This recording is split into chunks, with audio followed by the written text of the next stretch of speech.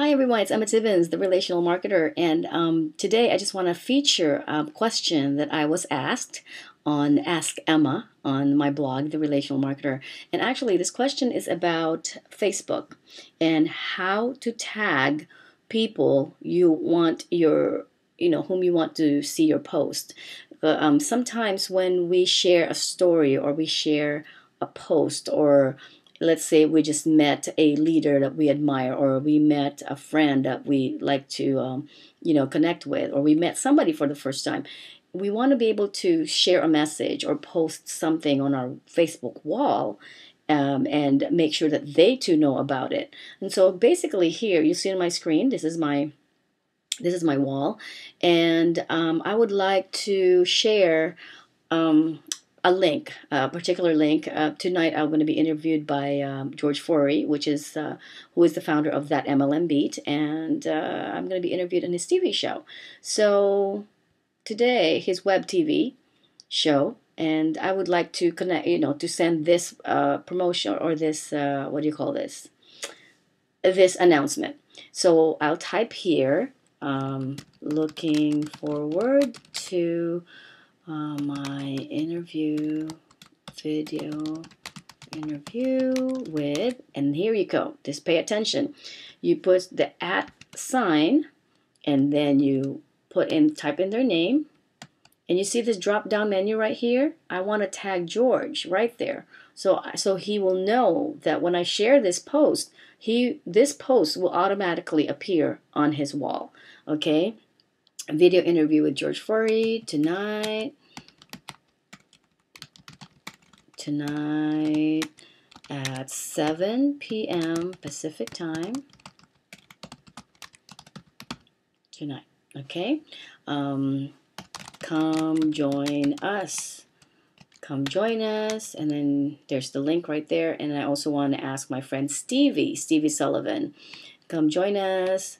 Also, uh, want to invite my my good friend at Stevie Sullivan. And there we go. I click on her name and Stevie Sullivan. Okay. So there you go. So that's like that's the basic post. But now look what happens. You click share.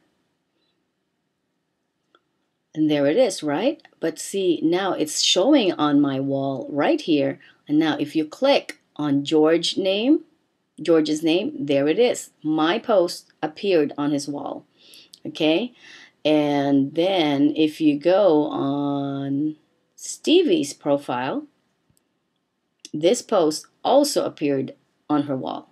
Okay, so now, um, how do you untag yourself if you don't want to, if you don't want to show on this post, right? Well, you can actually block it. So now, if you were the one who was tagged with a a video, just like uh, I would say this one right here from Mariah. Okay, uh, no, she tagged me on the actual video, but like a post. Like this is a post that I was tagged in. You see right here, I can view the post or I can remove the tag. If I don't want this to appear on my wall, all I need to do is remove the tag and I, this tag will not show up on my wall. But of course, I don't want to do that because I love Mariah Diamond and whatever she puts on my wall is welcome. So I won't do that.